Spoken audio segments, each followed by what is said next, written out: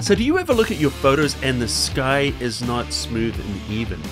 I'm going to show you how to save your sky so you don't have to replace it. You're able to fix it very quickly inside of Photoshop or Camera Raw. And I'm also going to tell you what causes this in the first place so you can avoid it. Have you ever been out shooting and get skies like this where they're blue and they're kind of uneven? Or this? Or we could look at something like this.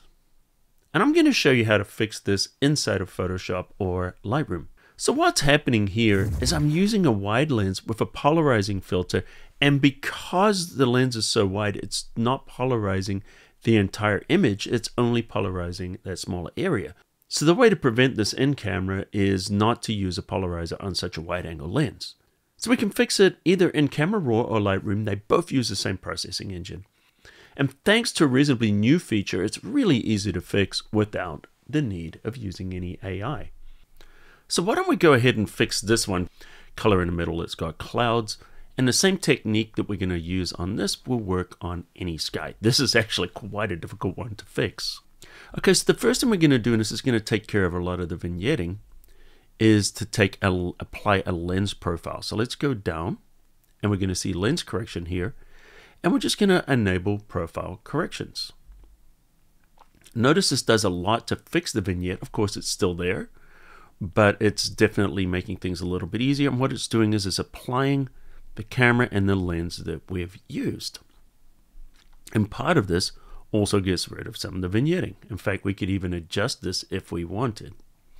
But we're not going to do it this way. The first thing we want to do though is we also want to isolate the sky. Because we only want to change the sky. We can adjust the rest of the photo later if we like. So we're going to choose the mask tool and then with the mask tool, we're going to choose sky. Great. So now we've got the sky area that we're going to adjust. Notice we see the light gray and it says mask, which means these adjustments here are working within the mask. If you want to go to the main adjustments, just click on where I am here for the edits. But let's go down and we're going to see one that's relatively new, but there's a newer setting within there, and that's point color. So we're going to click on point color. When we do this, the mask is going to be hidden. And what we want to do is go right into the middle of this very dark blue. And we're going to click. Notice it's added here. Now this is the color we're working with. Now here's the magic, variance. Variance takes that color that we've sampled and if we move it to the right, it will isolate it. If we move it to the left, it will spread it. Now it's not exactly the location that I clicked on it, it's that color tone. So wherever that color tone is in the image, it's going to be adjusted. This is why we're using it on a mask. So we're only affecting the sky and not the bottom. So let's take that variance and we're going to move it to the left. All right, it's not quite getting us there in one go. By the way, if you are going to try and do it in one go, don't do the darkest, try and find the medium. But we're going to do this in the two-step process. So we've kind of adjusted it here just with the variance. We haven't changed anything else, but we're going to grab the point color again. And this time we're going to go for the lighter blue and we're going to click. Notice it adds a second adjustment.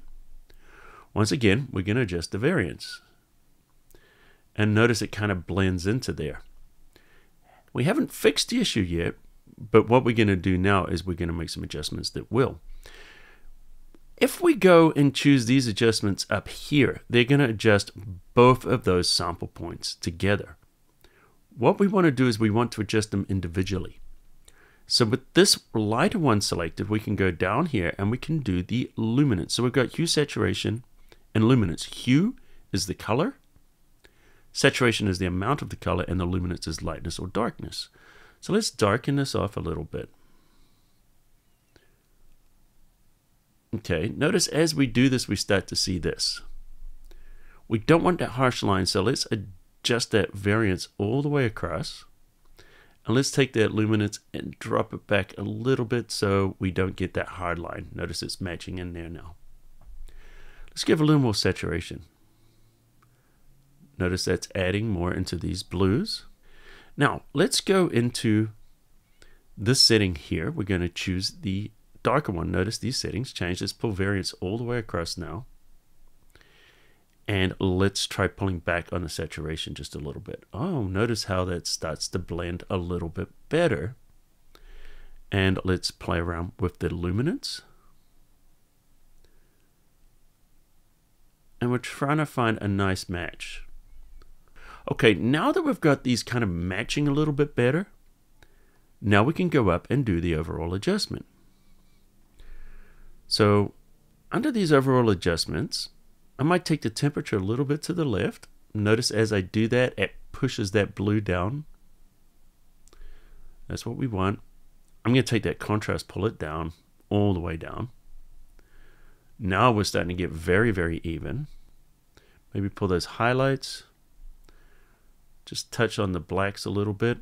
I'm going to give those whites a little boost so we don't mess with our clouds. Notice here we can also adjust the amount. And this will really flatten it out. Be careful though that we don't flatten out those clouds. And I want a little bit here on the horizon. It looks more natural. All right, if we look and see where we're at, this is our before and this is our after. See how we've really evened out the sky quite a lot. Now we can go down and we can do more fine tuning. If we select in here and we look at things like range here, we're not probably going to see much there with the hue, but we will with the luminance. Yeah. See, as I'm pulling it down, see that middle? We're just flattening that out once again.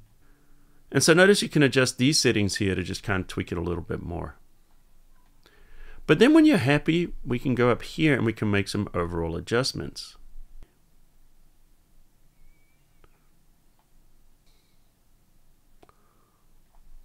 And we look at it, it's not perfect, but it's natural. If we look at it here, this is before. People are obviously going to see there's a problem with the sky. I go straight to it here. No, people don't really notice. It's nice and even. Maybe a little darker in the center, but you know, we could use vignettes and other things to tweak it more if we wanted. But I think this is a good satisfactory result. Now, if we've gone over a little bit into the mountains like we have here, we can just grab that mask, hit subtract, grab the brush here, and use the left bracket key, make that brush a little bit smaller, and we can just paint it away from those areas you don't want to be masking. And if you wanted, you could make this mask larger. If you wanted to have that little bit of atmospheric perspective there or that haze, you could just run that across here. Notice we just got part of the just part of the feather is going over. Look at that. And I think that kind of helps make it look even more natural. So if we look at this once again before, after we've been able to fix this and we didn't have to replace this guy. So I hope I've shown you the tools um, just go into those tools and you can tweak them even more than what I've done here. You can make them lighter or darker. You can change different things in there. You can refine it and even get smoother skies. So I hope you found it useful. Let me know in the comments underneath. And if you're new to the cafe, welcome. Hit the subscribe button, turn on notifications, you won't miss any of my tutorials. And if you want to know how to get rid of dust and spots on your photos, check out this tutorial right here. And until next time, I'll see you at the cafe.